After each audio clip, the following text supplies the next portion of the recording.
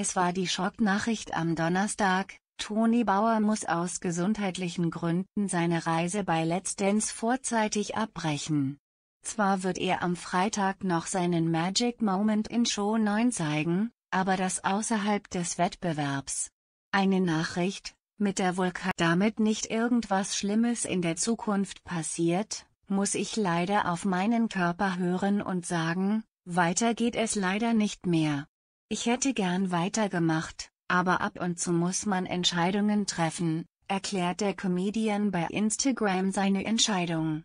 Nach dem Regelwerk der Show rückt nun der Promi aus, der als in der vergangenen Woche traf es an Katrin Bendixen und Valentin Lucen, die nun noch einmal die Chance haben, Dancing Star zu werden.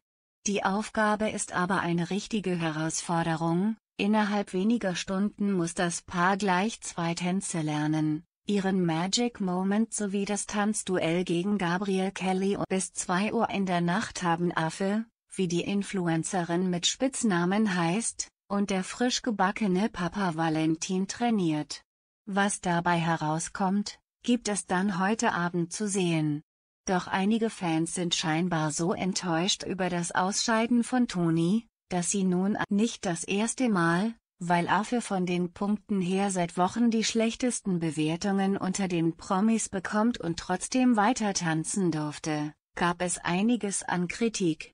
Nun scheint für die junge Frau aber endgültig genug, sie setzt sich bei Instagram gegen die Hasskommentare. Schämt euch einfach nur, denkt ihr, ich suche mir das aus? Wenn ich mir eines wünschen könnte, dann, dass Toni drin bleibt und ich einfach draußen bleibe, stellt der TV-Star klar. So einen niveaulosen Scheiß könne sie nicht mehr ernst nehmen. Beirren lässt sich die Rückkehrerin davon aber nicht. Heute Morgen meldete sich Affe gut gelaunt bei ihren Fans und stellt klar, es ist eben einfach auch nur tanzen. Ein Motto, das sich der ein oder andere